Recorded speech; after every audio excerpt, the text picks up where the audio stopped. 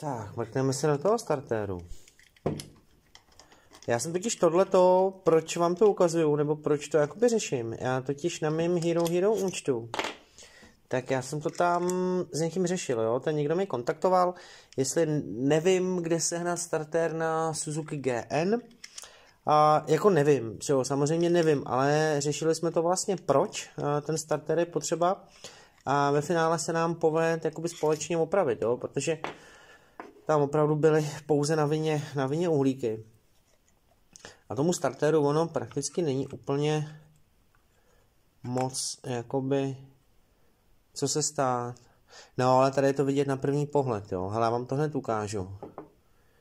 Komutátor, dosedací plochy, jo, to je, jak, to je opravdu jak u toho, hm, to je jak u kejvačky, u rotoru, zapalování, tahle ta dosedací plocha, kam dosedají uhlíky, tak je potřeba jí mít očištěnou, tyhle ty drážky, proškrábaný, aby tam nebyl ten prach z těch uhlíků jako takových. Ale ten starter proč netočí? No ten přísvit, jo, ale vidíte to? Jo, tady prostě není, není co řešit. Tenhle ten uhlík, jasně, krásně pohyblivý. A tenhle ten ne, ten zůstal prostě zaskočený, jo.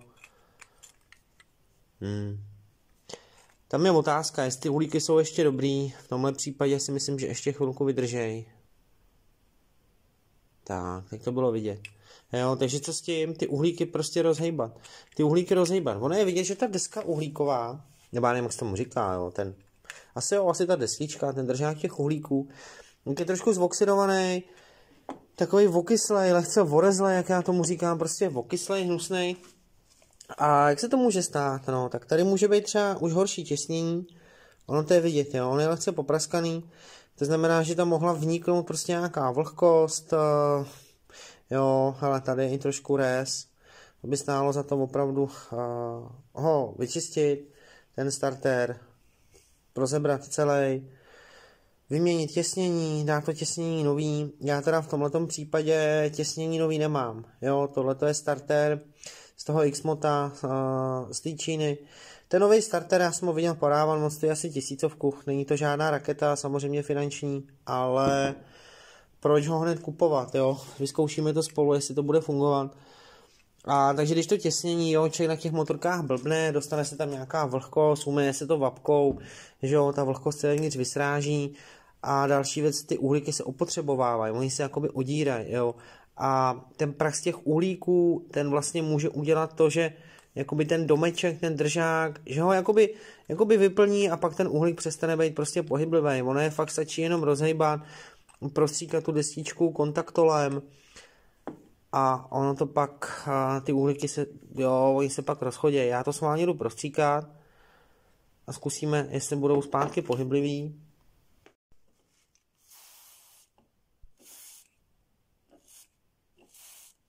Já jsem právě tím kontaktolem rozhejbával uhlíky, eh, když jsem měl ten motor z toho maneta. A to krásně na to vyčištění té destičky, na to rozhejbání. Ten kontaktol funguje fakt úplně skvěle. O, obyčejný kontaktol. Jo, vidíte to? Hotovo. Prostě rozhejbáno, jo, zůstaly vyset uhlíky. To je prostě celý. Takhle s nima párkrát zahejbáme. Jo, oni se trošičku jakoby odřou, o ten držák, jo, že tam jo, vznikne zpátky malinko ta vůle, že budou zpátky pohybliví. No, budeme ten starter společně smontovat, ale my to vyzkoušíme. Jo, takže on není důvod hned, hned prostě měnit, nebo hned se prostě zděsit a je, hele, teď mě odešel starter, starter netočí, je to prostě v háji, a co budu dělat, jej, co budu dělat, starter je drahej, nic, jo, vždycky to jde vždycky to nějakým způsobem opravit. Kdyby ty uhlíky, kdyby ty uhlíky byly v pořádku, jo, může být napálená ta cívka, no tak to by byl potom starter na výměnu, jo, ale v tomhle tom případě ne. Dáme ho tam spolu, vrátíme ho tam a no, oni jsou ještě dobrý, to ještě vydrží, ale to ještě bude fungovat. A zkusíme, jo, jak to otočí motorem. Vyřešený. Ale dáme tam starter. Já jsem byl línej sundávat si koleno výfuku, ale ono to jako nevadí, jo. Tam, se, tam se dá dostat rukou. Každopádně starter se musí prostě volně točit, to je jasný. Uh, nevím, jestli jsem vám ve videu říkal, ale to by asi všem mělo být jasný. Baterka uh, se musí samozřejmě odpojit. Tak, teď se jenom přetlačí ten okroužek. Jo, hele, super. Ani jsem nemusel ani jsem nemusel si sundávat to vejfukový koleno. Každopádně, hele, já jsem ho neskoušel na prázdno, aby se točit měl, takže mi držte palce, vyzkoušíme to spolu. To bylo docela trapný, jo, kdybych tady ukazoval, jak jsem rozhejbal starter a, on, by, on by nechtěl fungovat. Tak, jedna podložka, ale to je tak jítěrný, jo. Oni tyhle ty startery, čím ten starter, on je menší, tak tím on vlastně, jakoby, jak to říct, on víc trpí na to zanášení uh, tím prachem vlastně z těch uhlíků. Ono to je logický, jo, ale opravdu jednou za čas to chce vyčistit.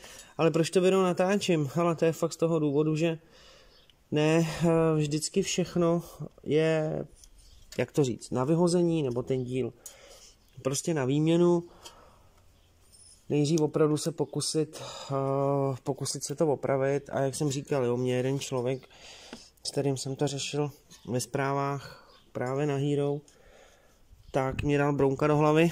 Já jsem, mně se stalo to samotný. Mně se stalo úplně to stejný jako jemu, ale šroubek tam máme, to dáme druhý.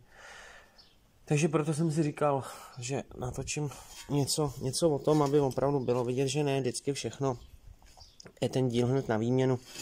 A já jsem takový, že se pokusím, protože není to stroj za, mm, jak to říct, za finanční prostě raketu.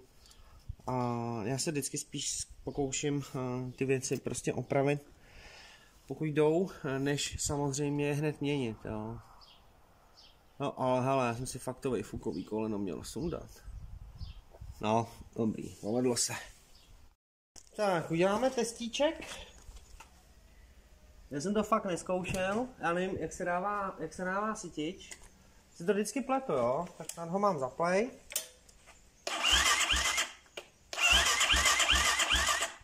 Ne, tak je asi takhle.